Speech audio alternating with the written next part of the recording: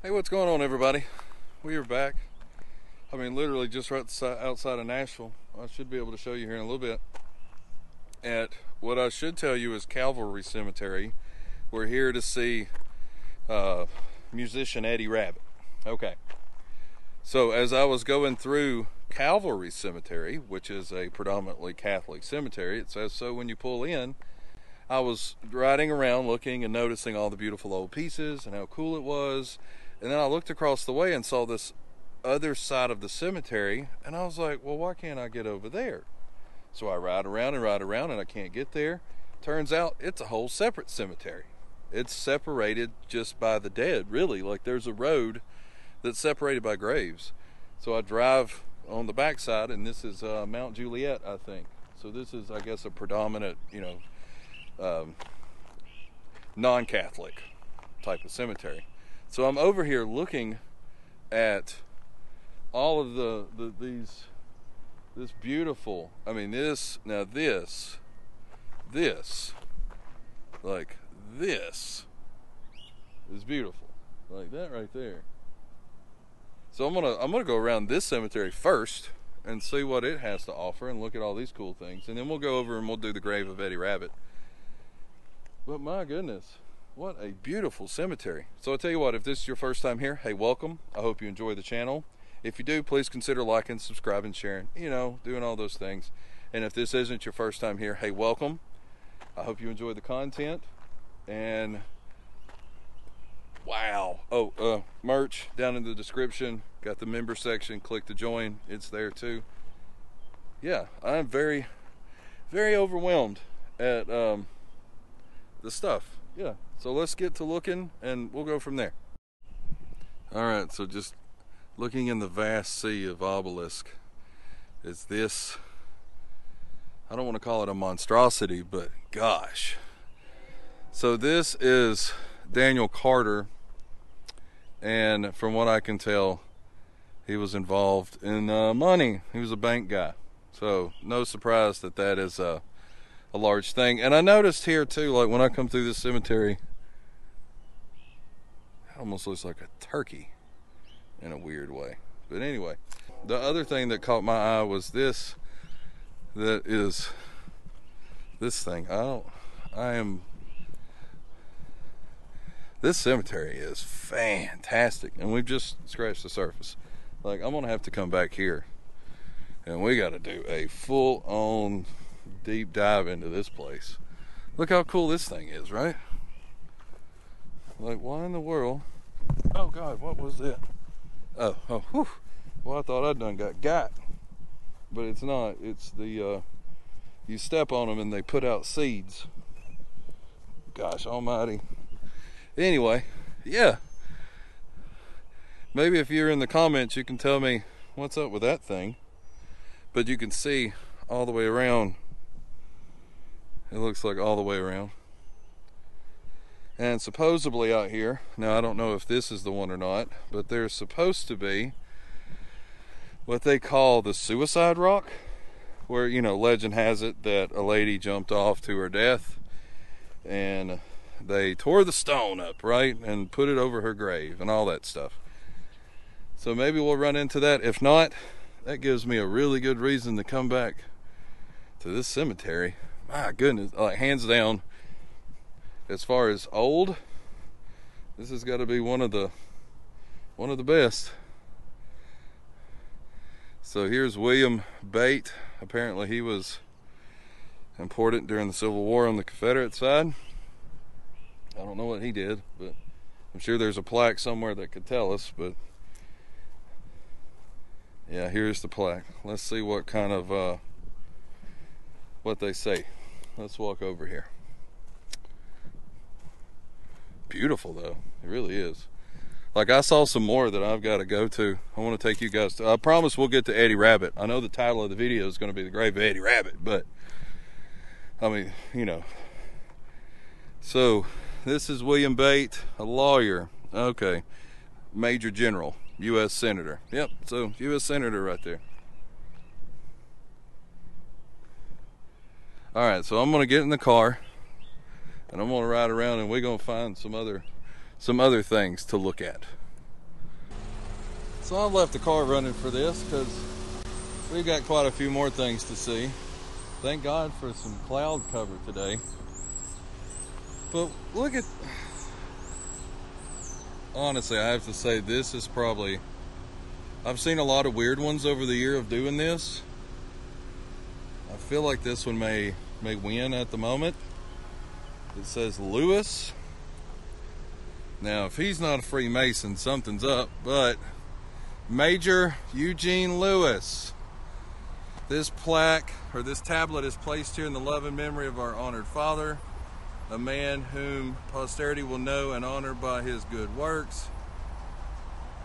It was a labor in the building of a life which led to the attainment of the highest ideals, truth, honor, and purity.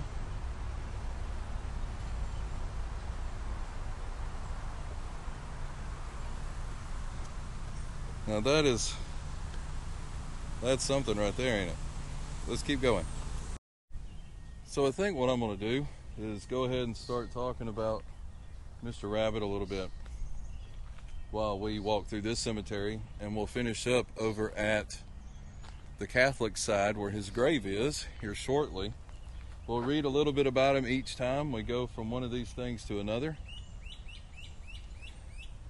Like this guy was a member of the Odd Fellows past Grand Master, past Grand Representative, Grand Sire. Looks like one double O F or one or L O O F, whatever that stands for. But this guy, now that I don't know if the camera probably can't do it justice, but good googly moo. Like now that that's how you do a, a tombstone, right? Like I thought Kenny Rogers was elaborate when we went and did that, but this is on a whole different level.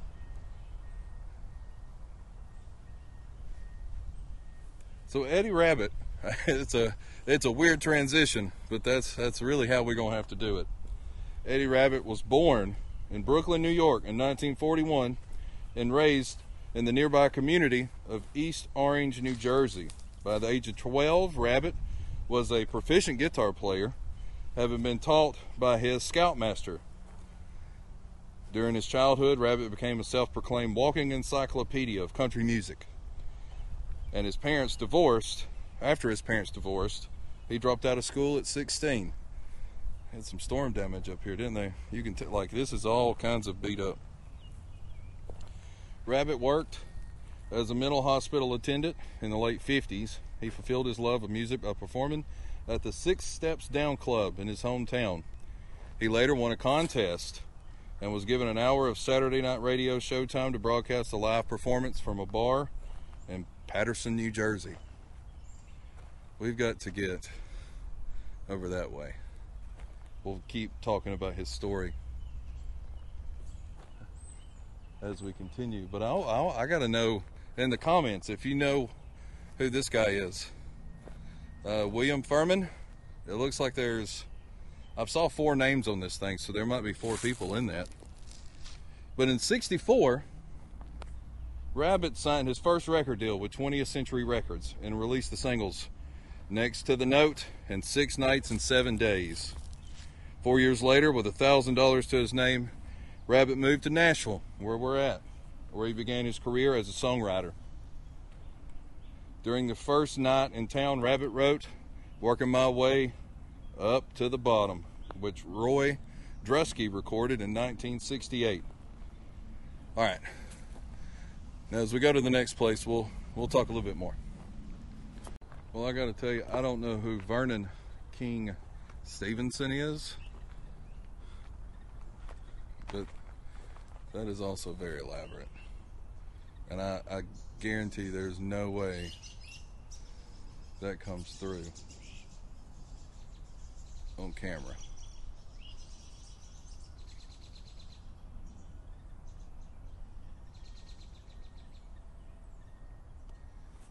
So more about Mr. Rabbitt.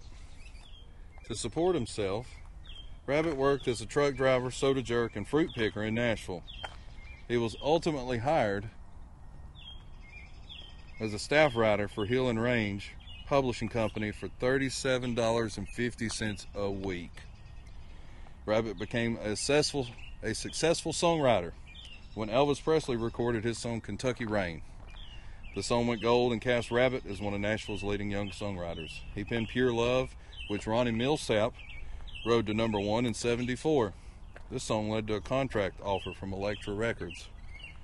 Rabbitt signed with Elektra Records in 1975. His first single under that label, You Get to Me, made the top 40 that year.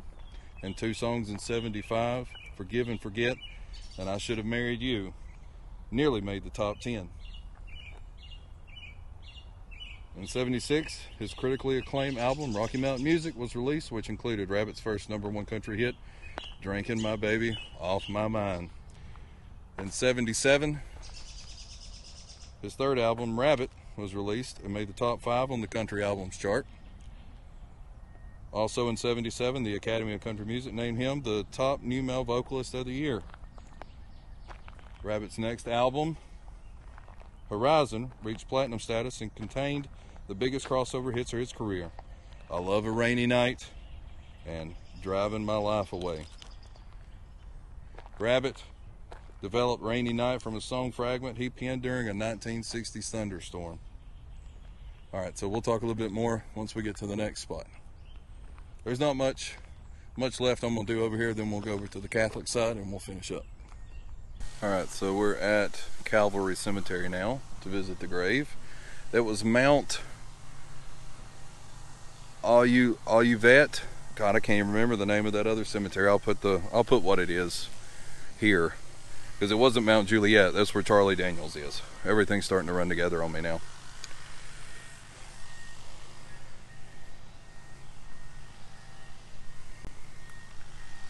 He's right over right over here somewhere. Rabbitt, a longtime smoker, died on May 7th, 1998 in Nashville from lung cancer at the age of 56. He had been diagnosed with the disease in 97 and had received radiation and remove part of one lung.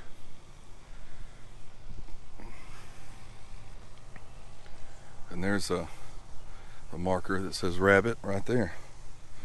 So we are going to, here we go. Edward Thomas Rabbitt right there. 41 to 98 in love and memory of my dearest Irish American husband.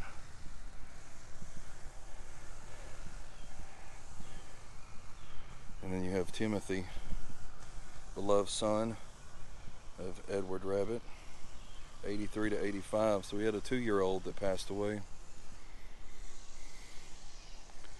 One more look. There you go.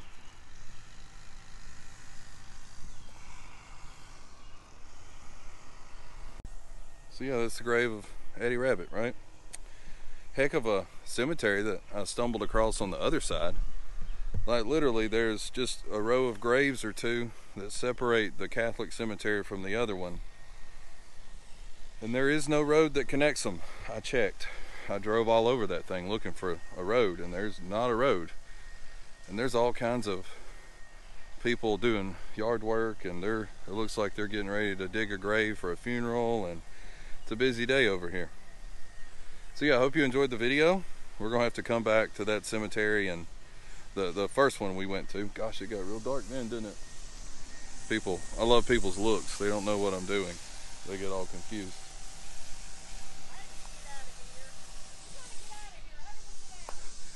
If you keep going that way, you, that'll take you to the way out. I think. I'm just as I, I, I know about as much as yeah, I know about as much as y'all do. Okay. So, well, good luck. No problem. They were lost. Which it is a uh, winding cemetery to try to get out of. I will say that. Gosh, I am very dark.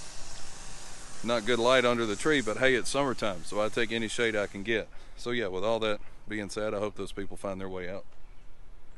Yeah, the grave of Eddie Rabbitt. Check another one of those off the list, right? Pretty cool.